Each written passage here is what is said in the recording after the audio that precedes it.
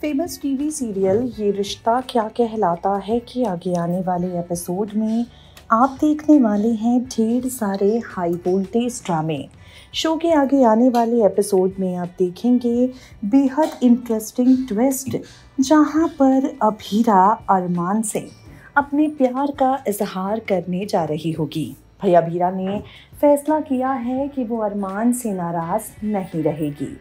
अभीरा ने फैसला किया है कि अरमान को लेकर उसके मन में जो भी नाराज़गी है, वो सारी नाराज़गी खत्म कर देगी। लेकिन ये क्या? इससे पहले कि अभीरा अरमान से अपनी नाराज़गी खत्म करने की बात कह पाती। इससे पहले कि अभीरा अरमान से अपने प्यार का इजहार कर पाती। इससे पहले कि अभीरा अरमान को कह पाती आई लव यू अरमान पुदार यहाँ अभीरा का एक्सीडेंट हो जाएगा.